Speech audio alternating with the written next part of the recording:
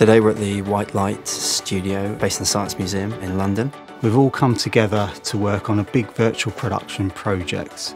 We're going to take one of our BBC green screen programmes, Aparat, a film review show. We're going to try making that in a virtual production setting with large LED walls and LED floor.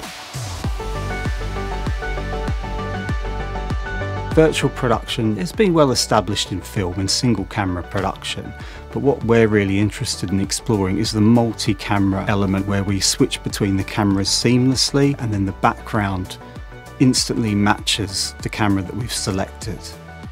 At EBU, we want to understand the implication of using LED walls in virtual production for, let's say, live events. And with BBC News, Sony and White Light, we started the preparation for this pilot.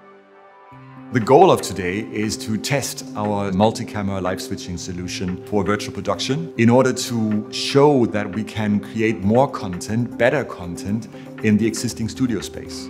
We were doing this using HDC 5500 and F5500 global shutter cameras, so off-the-shelf equipment and we are using the XVS G1, which is the core part of connecting the cameras with the LED wall.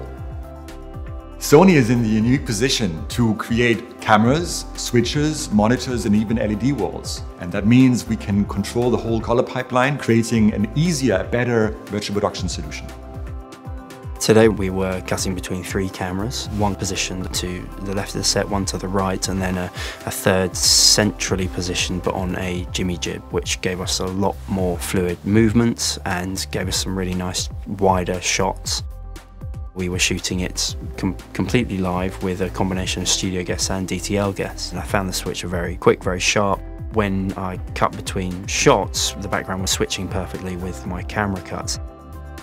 When you're watching uh, our output monitor, there was no delay in latency whatsoever, which was fantastic and gave the feeling that you were cutting as if you were in a real studio. One of the issues that we are facing with LED backwalls is the so-called moire effect. Moire is an issue that you will encounter when you're dealing with high-resolution digital sensors, looking at high-resolution digital screens. So there is no physical way to avoid it, but what you need to do is manage that really closely. One of the tools that we provided as Sony is a virtual HDC camera and a virtual lens combination.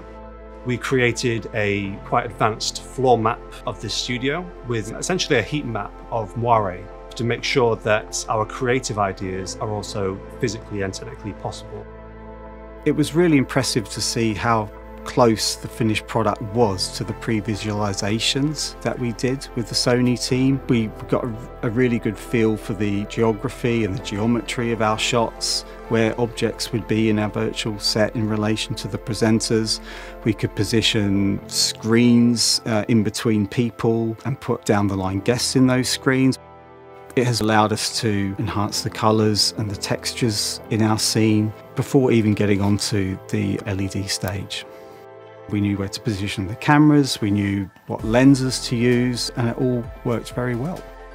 When you're looking into the viewfinder, you wouldn't know that you're not looking at a real set. But if you look over the top of the camera, you can very often see the images bleeding into each other.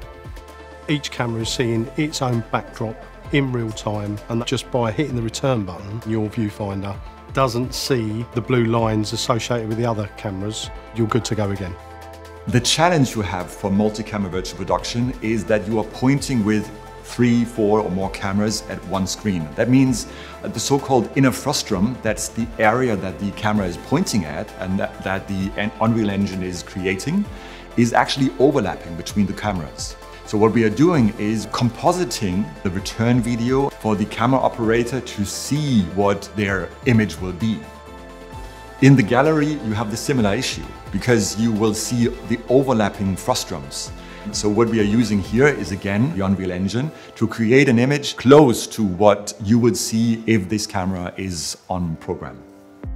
The finished product looked really natural because we were able to light in a much more creative way and not in a way that where we were worried about getting clean chroma keys.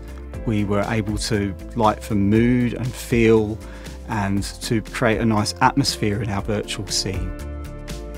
When I was in the gallery watching the programme being produced, I was just really impressed with the way our studio team, our directors, our camera crew, our lighting people just took so naturally to the setup. It was almost like people forgot that they were working in a virtual production environment. Cameras largely work the same as they do in a normal TV studio. The director is sitting in front of a very familiar bit of equipment, a Sony Vision switcher that has been involved in broadcasting for decades. The monitoring is exactly the same. Really, it operated and functioned like a normal TV studio. The experience which we had today was really good and it gives you the atmosphere, the feeling of any location which we are going and working in. The 4K HDR images looked glossy, it looked rich, the colours were beautiful. We were really impressed with the outcome. Working with Sony on this project has been great. Great collaboration, great support.